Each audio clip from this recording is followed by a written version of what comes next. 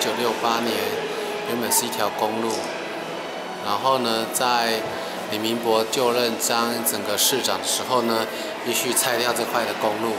然后呢，在整个动用整个所有的人力物力，打造一个清溪川的部分，也是当李明博当所有市长时候非常非常部分啊。在这个博物馆里面呢，它有一个展览室，呃，所以整个展览的内容有介绍首尔清溪川，从开川的时代，清溪川、清溪路、清溪川复原项目、复原后十年五大主题，历史的简介非常非常的丰富。我们区预计停留有四十分钟。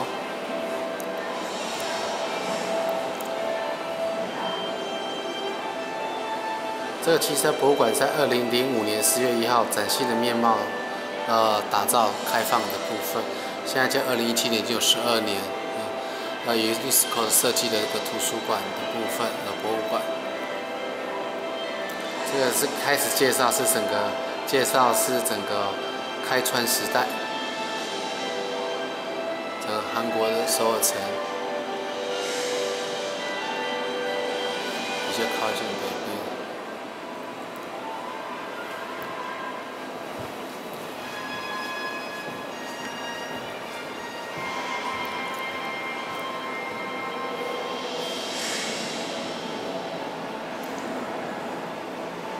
好，这个是正式开始的部分。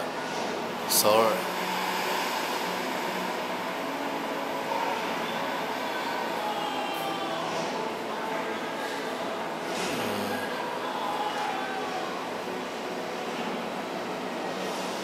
就是这一条清溪川。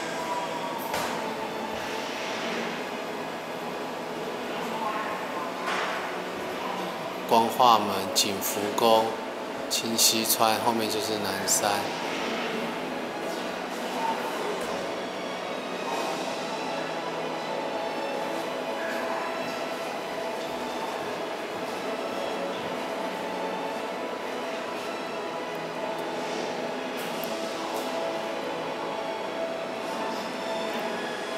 很难想，很不容易想象哦，早期这边是一条公路。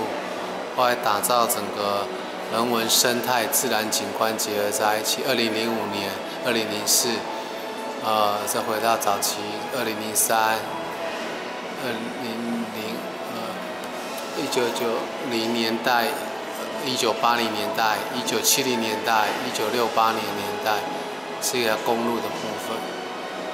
后来打造一个这样的工程，早期的房子。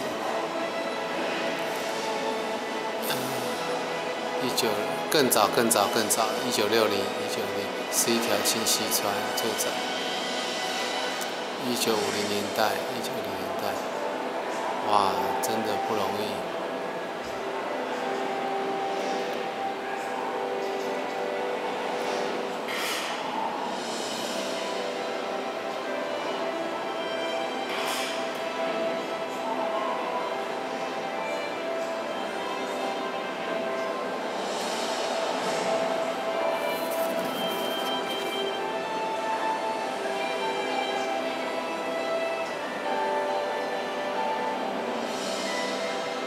四通八达，水是自然环境景观很重要的一个枢纽，能够打造一个水岸城市，代表这个城市景观的发展规划特别棒。